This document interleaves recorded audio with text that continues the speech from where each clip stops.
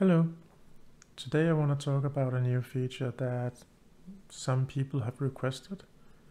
Um, the idea is that you want to collect output from the workflows that is running inside the robot and you want to save it somewhere. Um, usually my recommendation has been to, you know, just use add to database or whatever that that will give you a log but I, I get it. That's clunky. It's not really ideal. Um, so I now added the option that you can collect whatever comes inside the logging tab as part of a workflow. So I have a simple workflow here that has it, it has an argument of text. It will uh, write out free write lines so we can see something happening um, and I have a simple workflow inside Node-RED where I have a count uh, and I count that one up and I send a message with that count. Um, so if I run this one time, you will see that it ran. I have some console output down here. Um, yeah, that's fine.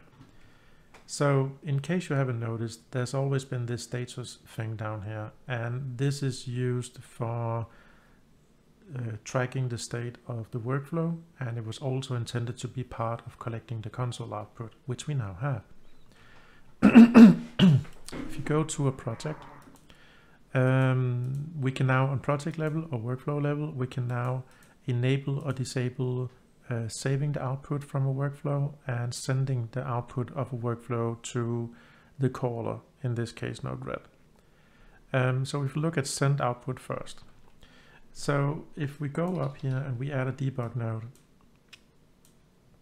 um, like that and deploy and I run it, you will see that I get two messages.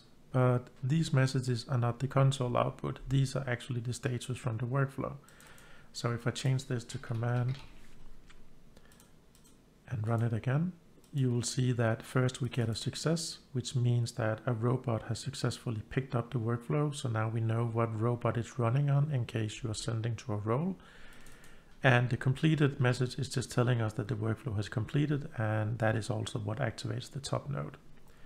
Um, so we are interested in in uh, the type of uh,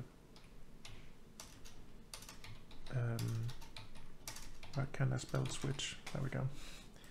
So we're interested in the command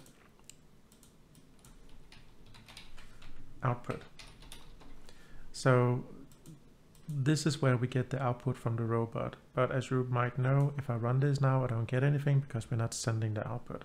So if I go back here to the project and I click send output, and I run it again, I now get the console output from the robot inside Node-RED. So now I can pass that and do something with it or just keep an eye on what is actually going on inside the robot.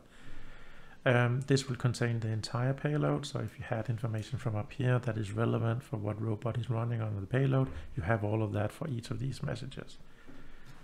Um, another option you now have is that if we go into entities and we look at the OpenRPA instances, you can see each of the instances of the workflow that we ran. And if we go down here, you will notice that console is null. Console is a new property that will get added if you're running the latest version of the robot. And that will contain the console output if you enable save output. So if I run it again, you will see that if we go into the latest here, uh, There we go. You'll see that console now contains the console output, including level and timestamp. Um, level is um, uh, error or warning or debug or whatever. Uh, basically, whatever you enable down here will get saved as part of the workflow, except network. Um, so no matter how much uh, you enabled, you will get that inside here, but it represents what is actually oh my god, my dog has having a heart attack. um, it represents what is actually shown inside here. So try and not enable everything, um, and generally try not to enable save uh, save output. It's gonna fill up the database really, really fast, and if you don't need it, don't save it. Enable it if you're troubleshooting or having issues. Um, this one with send send output is less harmful because you know OpenFlow is built for handling tons of messages and we're just streaming the data around so that's not really all that that bad. So you can safely leave that on if you are actually using it. Don't leave it on if you don't use it but if you are actually using it don't fear enabling that on a lot of robots. Um, I hope this is helpful